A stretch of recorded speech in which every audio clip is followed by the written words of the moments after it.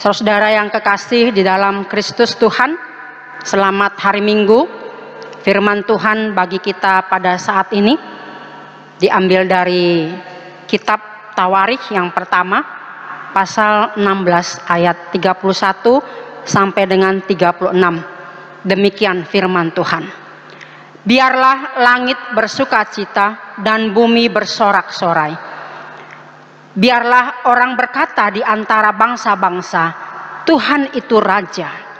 Biarlah gemuruh laut serta isinya, biarlah beriaya padang dan segala yang di atasnya.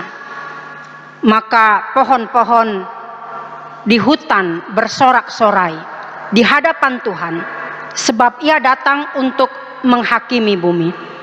Bersyukurlah kepada Tuhan sebab ia baik bahwasanya untuk selama-lamanya kasih setianya. Dan katakanlah selamatkanlah kami ya Tuhan Allah penyelamat kami. Dan kumpulkanlah dan lepaskanlah kami dari antara bangsa-bangsa supaya kami bersyukur kepada namamu yang kudus dan bermegah dalam puji-pujian kepadamu. Terpujilah Tuhan Allah Israel dari selama-lamanya sampai selama-lamanya. Maka seluruh umat mengatakan amin. Pujilah Tuhan. Demikian firman Tuhan. Saudara yang kekasih di dalam Kristus, firman Tuhan pada hari ini sangat luar biasa dari kitab Tawarikh khususnya untuk anak-anak kami sekolah minggu atau sebagian remaja mungkin belum tahu apa itu tawarikh.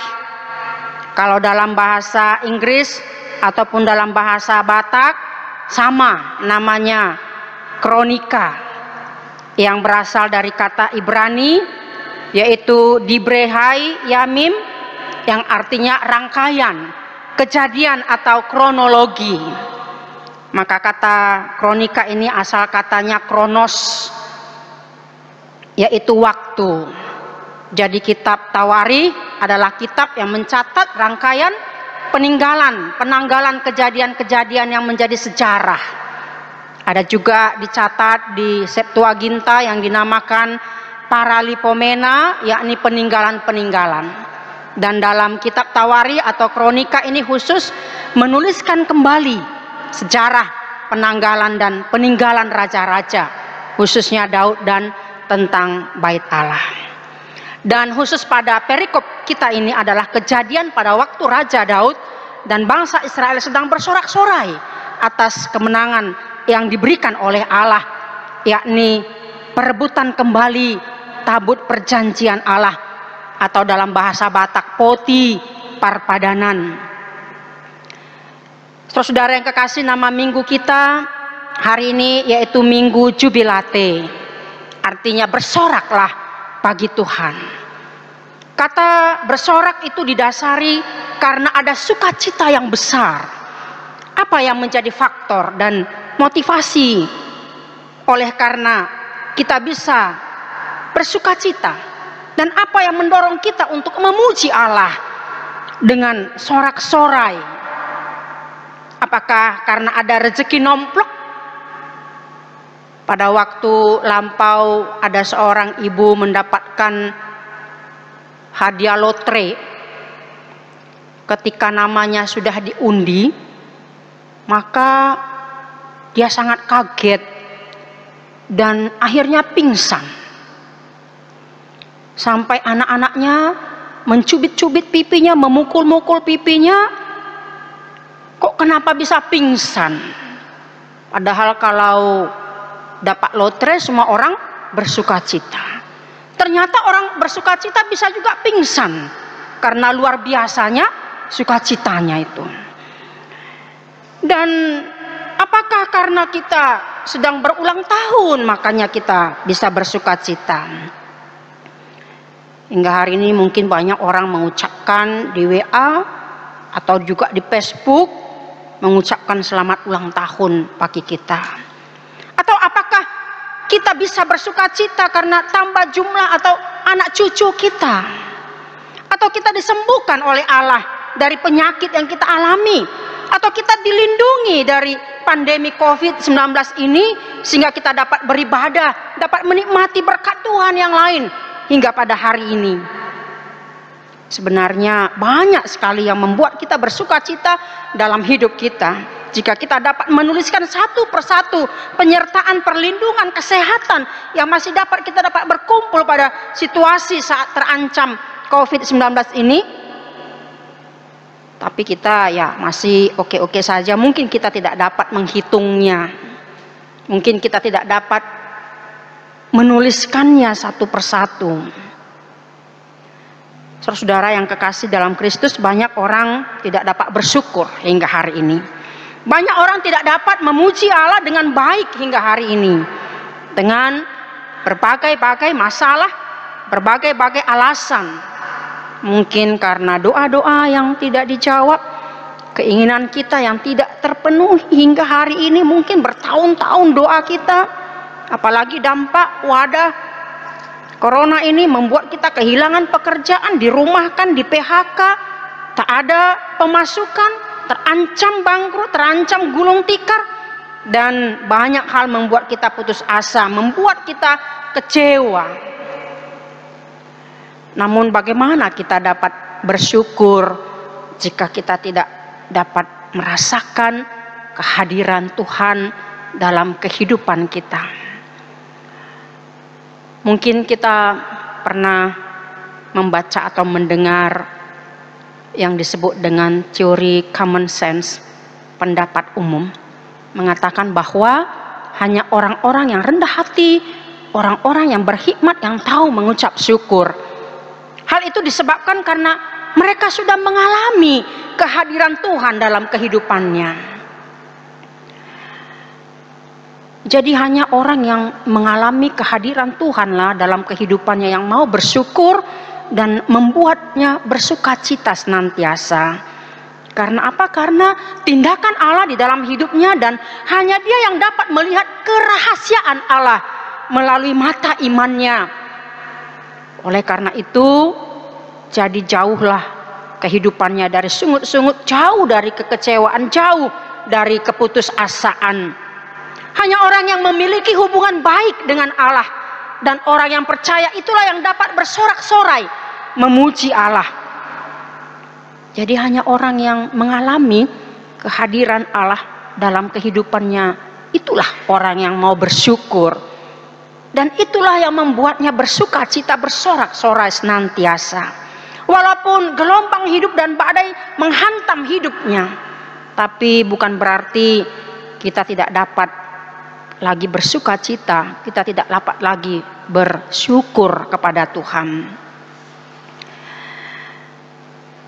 Saudara yang kekasih dalam Kristus, kita mau belajar dari pengalaman bangsa Israel sangat-sangat merasakan kehadiran Allah dengan semua kemahakuasaannya, mujizatnya, perlindungannya, penyertaannya, memberikan kemenangan demi kemenangan. Kalau kita selidiki nas firman Tuhan hari ini yang berhubungan dengan Minggu Jubilate di mana bangsa Israel yang dipimpin oleh Raja Daud bersorak-sorai memuji-muji kebesaran Allah penuh sukacita besar. Apa yang memotivasi mereka sedemikian luar biasa? Itu adalah karena mereka menikmati dan merasakan kehadiran Tuhan, bimbingan Tuhan dalam kehidupan mereka. Maka ada beberapa alasan. Alasannya adalah bahwa tabut perjanjian Allah atau poti perpadanan dapat direbut kembali dari tangan orang Filistin yang sudah mengambilnya pada waktu Raja Saul memerintah. Pada waktu itu Raja Saul kurang mempedulikan tabut perjanjian ini sangat terabaikan. Saudara yang kekasih, apa dengan ada apa dengan tabut Allah ini? Kalau kita sudah mengetahuinya bahwa tabut perjanjian Allah itu isinya adalah kedua loh batu yang bertuliskan ke sepuluh hukum Allah. Itu yang disampaikan Musa kepada orang Sinai, kepada bangsa Israel di Gunung Sinai. Dan kemudian di dalamnya ada buli-buli mana dan juga tongkat Harun yang bertunas. Ini adalah sesuatu yang sangat penting. Di sinilah luar biasanya hubungan Daud dengan Allah. Begitu luar biasa, begitu mengagungkan dan memuliakan Allah. Ini yang patut kita teladani dari Daud. Tabut Allah memiliki peranan penting dan makna yang berarti bagi Daud dan dia akan menerapkan pemahaman tentang tabut Allah ini bagi bangsanya. Kepribadian spiritual dan jiwa perang Daud yang luar biasa ini di mana dan kapan saja bangsa-bangsa lain ingin memerangi bangsa Israel, maka yang dilakukannya yang pertama sekali adalah bertanya. Bertanya dulu kepada Allah, apa yang akan dilakukannya. Maka Allah memberikan kekuatan luar biasa kepadanya sehingga dapat mengalahkan setiap bangsa-bangsa apa pun yang memerangi orang Israel dan meraih kemenangan. Jadi maksud mulia Daud merebut kembali tabut Allah ini dan ingin mengembalikannya ke Yerusalem sebagai pusat tempat peribadahan mereka.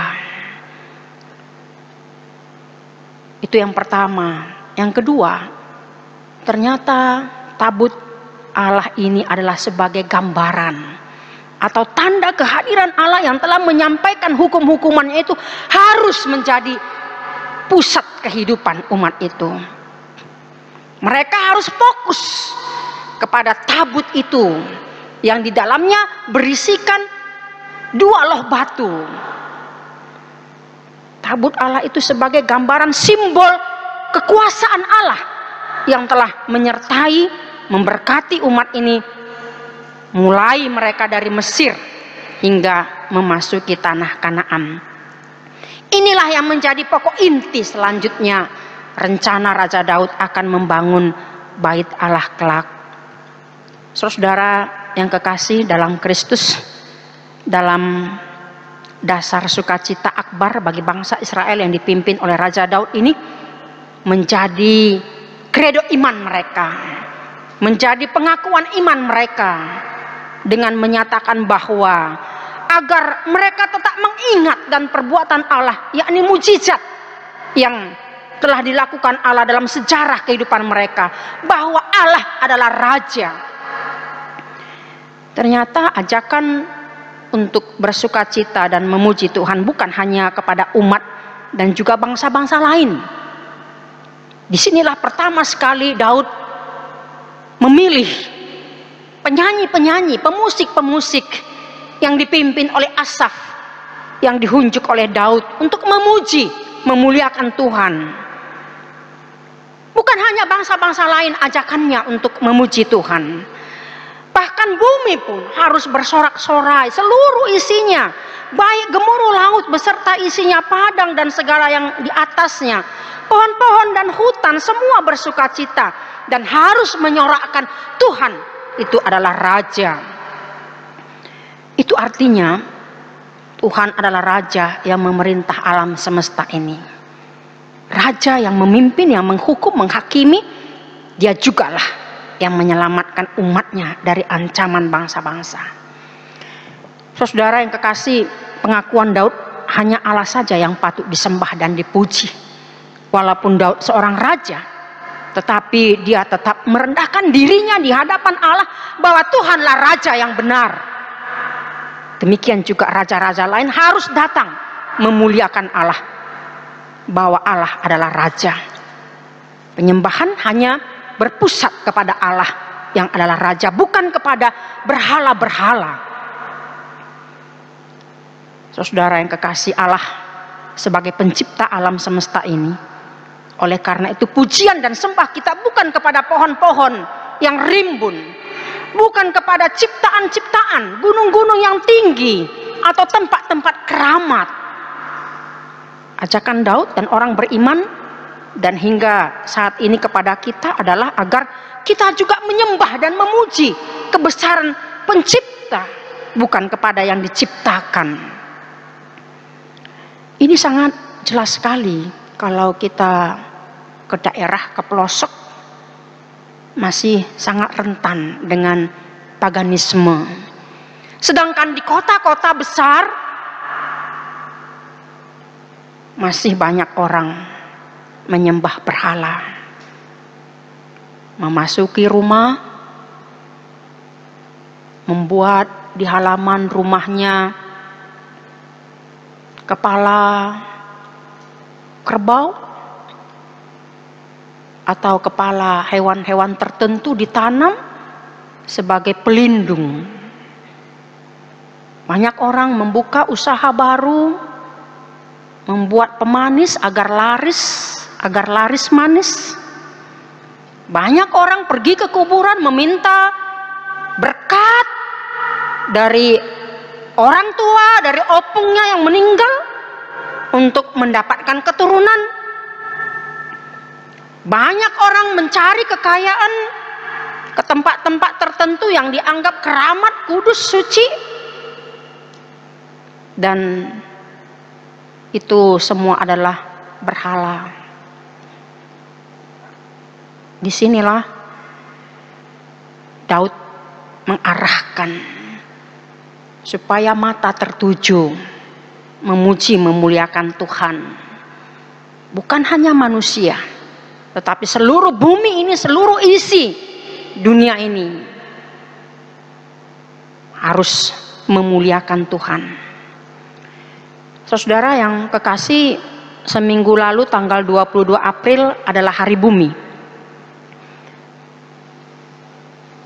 Dan sudah berlalu dan diperkirakan harus menanam pohon 7,8 miliar hingga tahun 2020. Tetapi justru kita lihat kenyataannya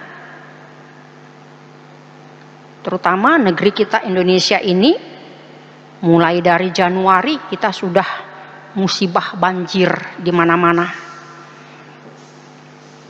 Inilah justru tugas-tugas kita untuk menjaga, memelihara, mengembangkan ekologi kelestarian alam. Inilah tanggung jawab kita bersama, bukan untuk membalak hutan, penggundulan di mana-mana yang dapat mengakibatkan erosi, terjadinya longsor. Hingga kemarin di Pulau Gadung pun banjir. Daerah-daerah di beberapa kabupaten longsor. Coba kita bayangkan jika kita kehilangan O2 maka telinga bagian dalam akan meledak karena kehilangan 21% tekanan udara dalam tubuh kita dan banyak lagi hal-hal yang membuat kita rugi.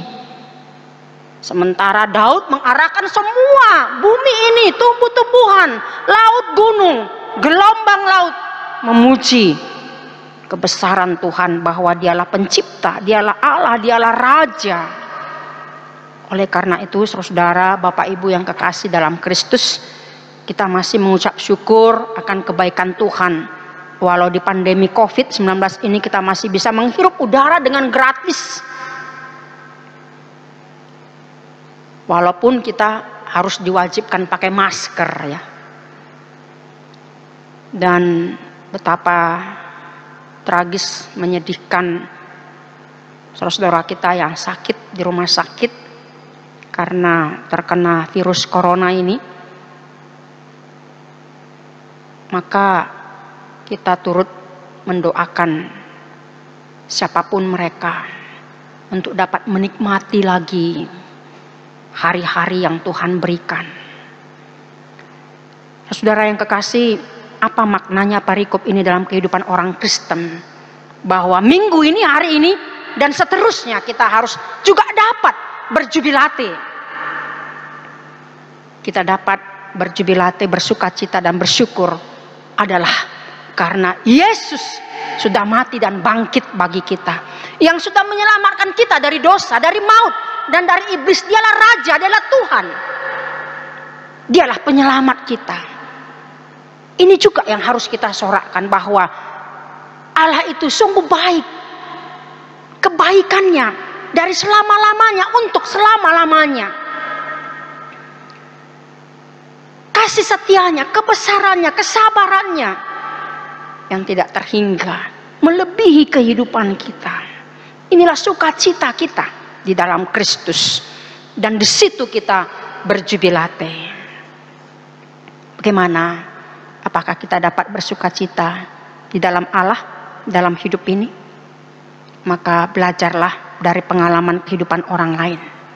Kita harus bisa belajar dari pengalaman orang lain agar kita jangan putus asa, jangan kecewa, jangan bersungut-sungut. Kita dapat melihat apa yang dialami orang lain. Jangan kita hanya terfokus pada diri kita sendiri, tetapi kita akan melihat apa yang dialami orang lain.